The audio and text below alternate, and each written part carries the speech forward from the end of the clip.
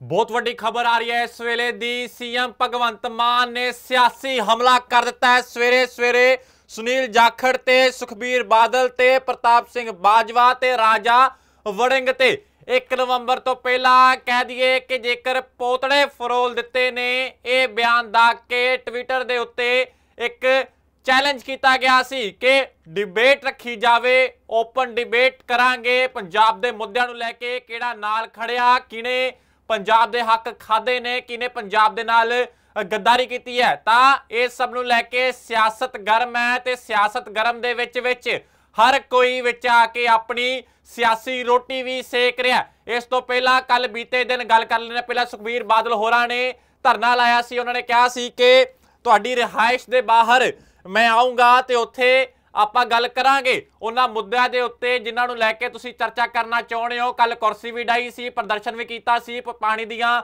ਬੋਛਾੜਾ ਵੀ ਖਾਧੀਆਂ। ਪਰ ਸੀਐਮ ਮਾਨ ਬਾਹਰ ਨਹੀਂ ਆਏ, ਕਿਉਂਕਿ ਕਿਹਾ ਕਿ ਤਰੀਕ ਇੱਕ ਦਿੱਤੀ ਗਈ ਹੈ 1 ਨਵੰਬਰ ਦਿੱਤੀ ਗਈ ਹੈ ਤੇ ਹੁਣ ਸਵੇਰੇ ਸਵੇਰੇ ਸੀਐਮ ਮਾਨ ਦਾ ਟਵੀਟ ਸਾਹਮਣੇ ਆਇਆ ਇਹ ਤੁਹਾਨੂੰ ਦੱਸਦੇ ਆ, ਸੀਐਮ ਮਾਨ ਦਾ ਟਵੀਟ ਕਿਹੜਾ ਸਾਹਮਣੇ ਆਇਆ, ਜਿਸ ਦੇ ਵਿੱਚ ਉਹਨਾਂ ਦੇ ਵੱਲੋਂ ਇਹ ਗੱਲ ਕਹੀ ਗਈ ਹੈ ਕਿ ਆਪਣੇ ਮਾਨਯੋਗ ਸੁਨੀਲ ਜਾਖੜ ਜੀ, ਸੁਖਬੀਰ ਬਾਦਲ ਜੀ, ਤੁਸੀਂ ਥੋੜੀ ਬਹੁਤ ਸ਼ਰਮ ਕਰ ਲਓ।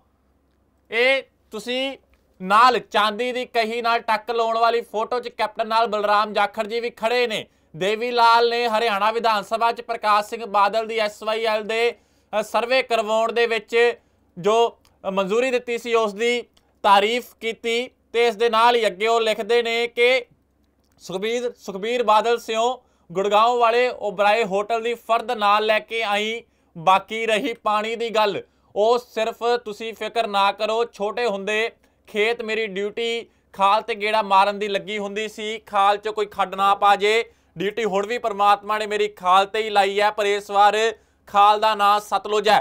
1 ਨਵੰਬਰ ਨੂੰ ਆਪਣੇ ਪੁਰਖਿਆਂ ਦੇ ਕੁਰਸੀ ਵਾਸਤੇ ਕੀਤੇ ਹੋਏ ਕੁਰਸੀਨਾਮੇ ਜ਼ਰੂਰ ਲੈ ਕੇ ਆਇਓ ਤਾਂ ਕਿ ਮੇਰੇ ਵਤਨ ਪੰਜਾਬ ਦੇ ਲੋਕ ਵੀ ਜਾਣ ਲੈਣ ਕਿ ਕੁਰਬਾਨੀ ਦੇਣ ਦੀ ਗੱਲ ਕਹਿ ਕੇ ਉਹਨਾਂ ਦੀ ਕਿੰਨੀ ਵਾਰ ਕੁਰਬਾਨੀ ਲਈ ਗਈ। ਇਹ ਟਵੀਟ ਕੀਤਾ ਗਿਆ ਸੀ ਮਾਨ ਹੋਰਾਂ ਦੇ ਵੱਲੋਂ। ਇੱਕ ਵਾਰ ਫਿਰ ਤੋਂ ਤੁਹਾਨੂੰ ਇਹ ਟਵੀਟ ਪੜ੍ਹ ਕੇ ਸੁਣਾ ਦਿੰਨੇ ਆ ਕਿ ਜਿਸ ਦੇ ਵਿੱਚ ਸੀਐਮ ਮਾਨ ਕਹਿੰਦੇ ਨੇ ਕਿ ਮਾਨਯੋਗ ਸੁਨੀਲ ਜਾਖੜ ਜੀ, ਸੁਖਬੀਰ ਬਾਦਲ ਜੀ, ਬਾਜਵਾ ਜੀ, ਰਾਜਾ ਵੜਿੰਗ ਜੀ, ਕੋਈ ਥੋੜੀ ਬਹੁਤ ਸ਼ਰਮ ਨਾ ਦੀ ਚੀਜ਼ ਘਰੋਂ ਲੈ ਕੇ ਤੁਰਦੇ ਹੋ ਜਾਂ ਨਹੀਂ?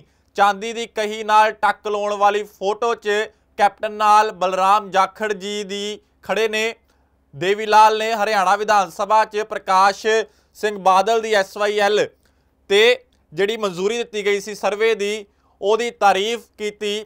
ਸੁਖਬੀਰ ਸਿੰਘ ਗੁੜਗਾਉਂ ਵਾਲੇ ਓਬਰਾਏ ਹੋਟਲ ਦੀ ਫਰਦ ਨਾਲ ਲੈ ਕੇ ਆਈ। ਬਾਕੀ ਰਹੀ ਪਾਣੀ ਦੀ ਗੱਲ, ਉਹ ਤੁਸੀਂ ਫਿਕਰ ਨਾ ਕਰੋ, ਛੋਟੇ ਹੁੰਦੇ ਖੇਤ ਮੇਰੀ ਡਿਊਟੀ ਖਾਲ ਤੇ ਗੇੜਾ ਮਾਰਨ ਦੀ ਲੱਗਦੀ ਸੀ ਕਿ ਖਾਲ 'ਚ ਕੋਈ ਖੱਡ ਨਾ ਪੈ ਜੇ।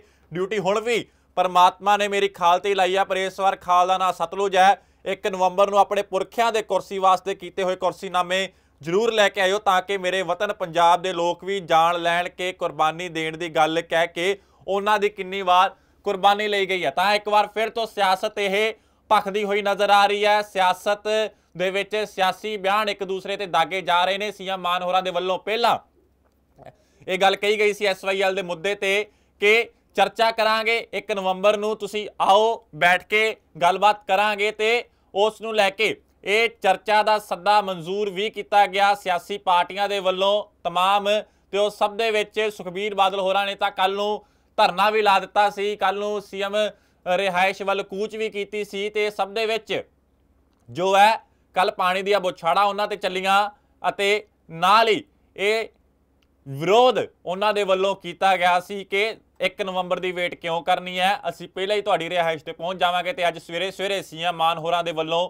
ਇਹ ਟਵੀਟ ਕਰਕੇ ਇੱਕ ਹੋਰ ਸਿਆਸੀ ਬਿਆਨ ਦਾਗ ਦਿੱਤਾ ਗਿਆ ਜਾਂ ਕਹਿ ਲਈਏ ਕਿ ਇਹ ਪੋਤਨੇ ਫਰੋਲੇ ਇੱਕ ਤਰ੍ਹਾਂ ਦੇ ਜਿਸ ਦੇ ਵਿੱਚ ਇਹ ਸਭ ਨਿਕਲ ਕੇ ਸਾਹਮਣੇ ਆਇਆ ਤੇ ਇਹ ਟਵੀਟ ਕੀਤਾ ਗਿਆ ਤੇ ਟਵੀਟ ਦੇ ਵਿੱਚ ਸ਼ਬਦੀ ਹਮਲੇ ਸਾਰੇ ਵਿਰੋਧੀਆਂ ਨੂੰ ਇਕੱਠੇ ਕਰਕੇ ਦਾਗੇ ਗਏ ਨੇ।